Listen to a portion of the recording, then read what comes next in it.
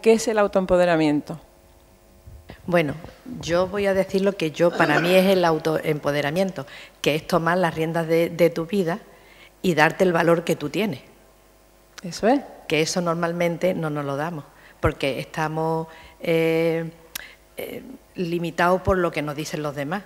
Durante muchos años, desde que eres pequeño, tú eres tonto, tú eres listo, tú eres alto, tú eres guapo, tú eres feo, y entonces vamos creciendo con todas esas limitaciones hasta que llegas de mayor y, y, coger tu, tu poder, eso es complicado.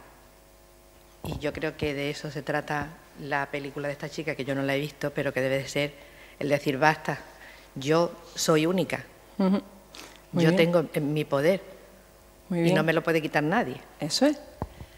Fijaros del concepto de estar moviéndose por los conceptos tradicionales, los conceptos que han sido inculcados por la educación, eh, los conceptos limitadores, eh, hacen que la persona dentro de su ser pierda ese autoempoderamiento.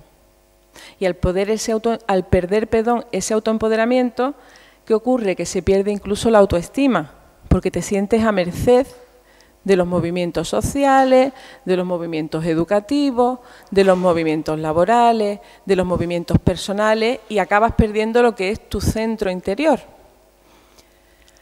¿Qué ocurre? Que por suerte hoy día, con las cantidades de divulgación, de comunicación, de charlas, más eh, el deseo intrínseco de cada uno de buscar respuestas, está habiendo cada vez más una autoconcienciación de la importancia que tenemos todos a nivel individual, porque esa importancia que nos reconocemos a nosotros mismos a nivel individual permite grandes movimientos y preciosos movimientos colectivos.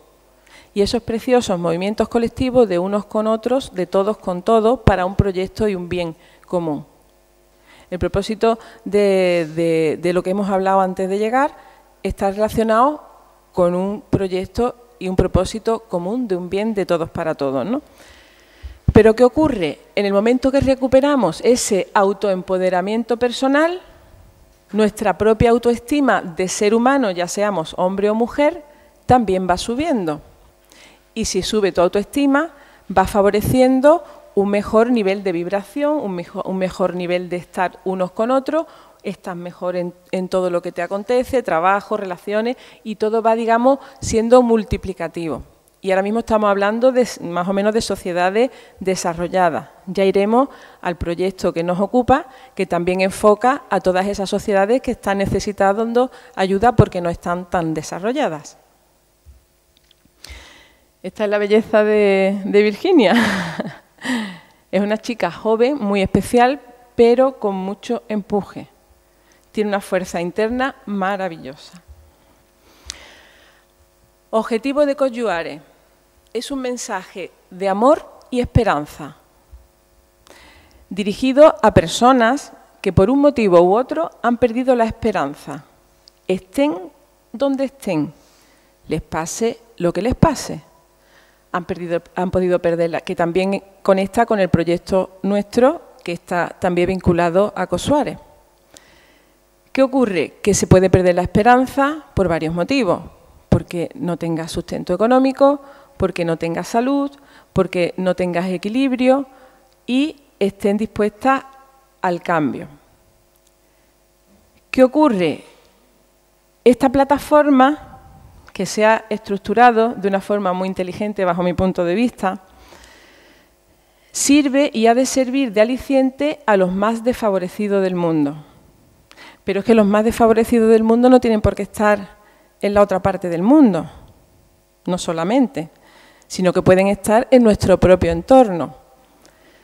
Y dentro de nuestro propio entorno tenemos que tener ojos para saber verlos. Muchas veces en los grupos de trabajo, que ya hablaremos un poquito más adelante, que tenemos en nuestra ciudad, muchas veces los más desfavorecidos no son los que menos tienen a nivel económico, sino los que menos tienen a nivel personal y humano. Hay veces que la economía no falla, pero hay otros valores e infraestructuras que le están haciendo perder el equilibrio y perder su, razón de bienestar o de bien ser, como, como mucho se lleva hoy día. No solo está el bienestar, sino el bien ser. pues en esos lugares de trabajo también se necesita ayuda. ¿Qué ocurre? Que con estos objetivos, coordinados de la forma adecuada, se favorece una elevación del nivel de conciencia. Al mismo tiempo, esta elevación del nivel de conciencia puede ir interaccionando con todo lo que son las estructuras educativas, favoreciendo lo que es una reeducación. De hecho, eh, muchos de los propósitos que hemos estado intercambiando eh, se han realizado pues, con profesores de instituto, con profesores de GB, que han visto interesante el favorecer un, un cambio de patrón de paradigma para que los nuevos niños vayan pudiendo acercarse y abrirse a otras formas de educación y a otras formas de niveles de conciencia. Pero es que no solo eso, se favorece una rehabilitación de los patrones tradicionales. En mi caso, como ya he dicho al principio, soy médico de profesión, maestra de Reiki, y eh, la interacción entre tu trabajo tradicional y tu buena fe en favorecer ciertos cambios es la integración perfecta para que realmente se